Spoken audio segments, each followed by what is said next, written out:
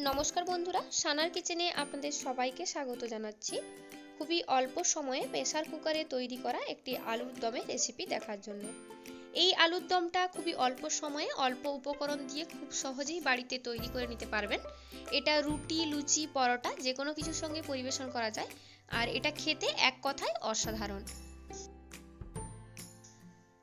আমার আজকের এই রেসিপিটা আপনাদের দেখার অনুরোধ রইল। আর রেসিপি ভালো লাগলে চ্যানেলটি সাবস্ক্রাইব করে পাশে থাকা বেল আইকনটি অবশ্যই ক্লিক করে দেবেন। আমার পরবর্তী ভিডিও নোটিফিকেশন সবার আগে পাওয়ার জন্য। তাহলে চলুন দেখে নেওয়া যাক আমাদের আজকের এই অল্প সময়ে তৈরি করা স্পেশাল আলুর দমের রেসিপিটা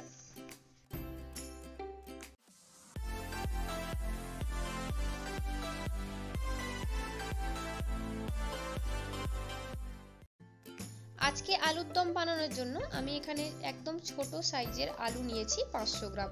আলুটার খোসা ছাড়িয়ে ভালো করে ধুয়ে নিয়েছি। এবার আলুগুলোকে একটা কাটা চামচের সাহায্যে এইভাবে গায়ে একটু একটু করে ছেদ করে দিচ্ছি। এতে আলুর ভেতর পর্যন্ত লবণ আর মশলার ফ্লেভারটা ঢুকে যাবে। বেশি ছেদ করবেন না, আলতো হাতে অল্প অল্প ছেদ করে দিলেই হবে। আলুটা যাতে কেটে না যায় সেটা অবশ্যই লক্ষ্য রাখবেন। এবার আলুগুলোকে একটা সাইডে রেখে দিয়ে আমি একটা মশলার পেস্ট তৈরি করে নেব। তার জন্য একটা মিক্সিং জারের মধ্যে নিয়ে নিচ্ছি দুটো বড় সাইজের পেঁয়াজ। পেঁয়াজটাকে আমি একটু মোটা করে কুচি করে রেখেছিলাম।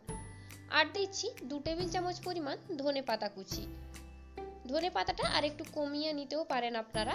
আর দিয়ে দিলাম দেড় ইঞ্চি পরিমাণ আদার টুকরো। সেই সাথে দিয়ে দিচ্ছি তিনটে কাঁচা লঙ্কা। কাঁচা লঙ্কাগুলোকে ভেঙে আমি এর মধ্যে দিয়ে এবার এটার একটা স্মুথ পেস্ট তৈরি করে নেব।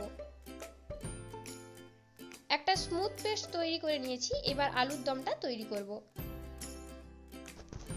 আজকের আলুর দমটা যেহেতু প্রেসার কুকারে তৈরি করব, তার জন্য গ্যাসে একটা প্রেসার কুকার বসিয়ে তার মধ্যে দিয়ে দিলাম এক টেবিল চামচ পরিমাণ ঘি আর দু টেবিল চামচ পরিমাণ সাদা তেল।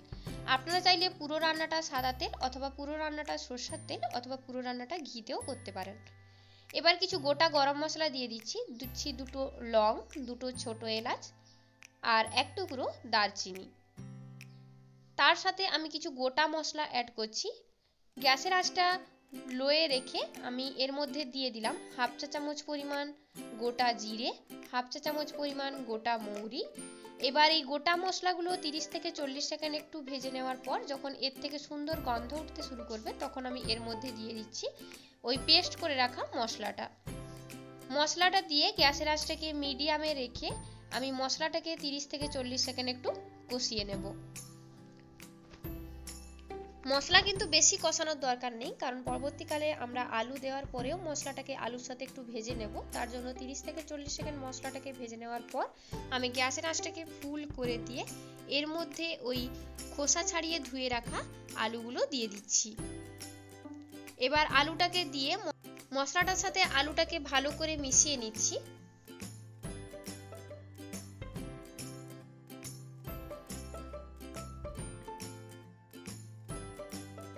মশলার সাথে আলুটাকে ভালো করে মিশিয়ে নেওয়ার পর আমি এর মধ্যে দিয়ে দিচ্ছি একটা বড় সাইজের টমেটোর পেস্ট।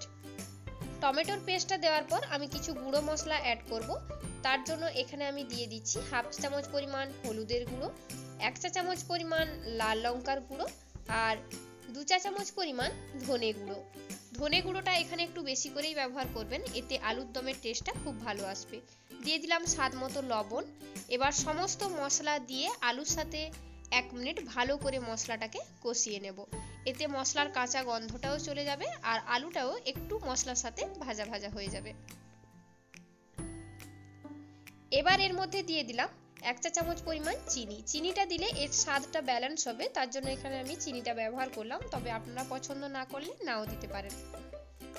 চিনিটা দেওয়ার পর আমি এর মধ্যে পরিমাণ মতো জল দিয়ে প্রেসার কুকারের ঢাকনাটা লাগিয়ে দুটো সিটি দিয়ে আলুগুলোকে ভালো করে সেদ্ধ করে নেব। আমার প্রেসার কুকারটায় দুটো সিটি দিলেই আলুটা ভালোভাবে সেদ্ধ হয়ে যাবে। আপনারা, আপনাদের প্রেসার কুকারে সেদ্ধ হওয়ার সময়টা বুঝে সিটিগুলো দিয়ে দেবেন এবার গ্যাসের আঁচটা মিডিয়ামে রেখে দুটো সিটি দিয়ে নেওয়ার পর আমি অফ করে দিয়ে অপেক্ষা করব যাতে প্রেসার কুকারটা নিজে থেকে ঠান্ডা হয়ে যায়। প্রেসার কুকারটা যখন নিজে থেকে ঠান্ডা হয়ে যাবে অর্থাৎ তার বাষ্পটা বেরিয়ে যাবে, তখন প্রেসার কুকারের ঢাকনাটা খুলে আমি দু একটা আলুকে হাতার সাহায্যে একটু ভেঙে দিচ্ছি। আপনাদের যদি মনে হয় গ্রেভিটা আরেকটু ঘন হলে ভালো হতো, তাহলে এইভাবে দু একটা আলু ভেঙে দিলে গ্রেভিটা ঘন হয়ে যাবে। গ্রেভিটায় যদি হালকা একটু জল বেশি হয়ে যায়, তাহলে কিন্তু মন খারাপের কিছু নেই। এভাবে দু একটা আলু ভেঙে দেবেন, দেখবেন গ্রেভিটা ঘন হয়ে গেছে। আর হ্যাঁ আপনারা আর কোন কোন রেসিপি দেখতে চান, আমাকে কমেন্ট করে জানাবেন, আমি সেই রেসিপিগুলো আপনাদের দেওয়ার চেষ্টা করব।